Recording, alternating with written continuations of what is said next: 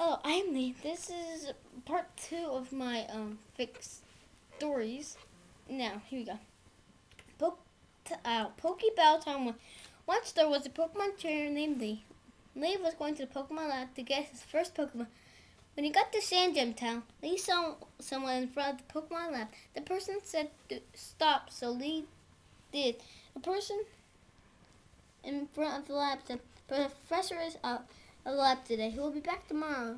Lee, so Lee went to the Pokemon Center for the night.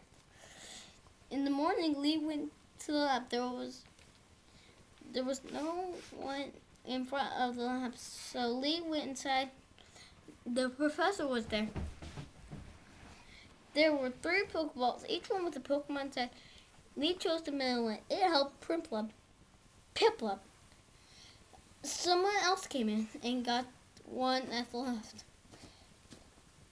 And then left, then exit the lab.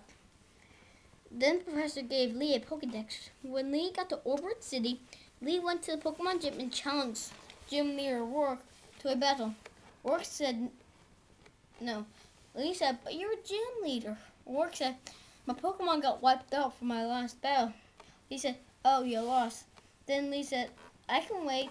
After a while, we went back to the gym and challenge worked again. This time, Roark accepted.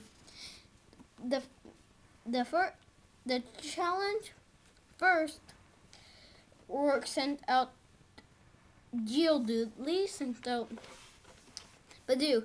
Geodude used rollout on Budew. Budew used Solar Beam, which stopped it.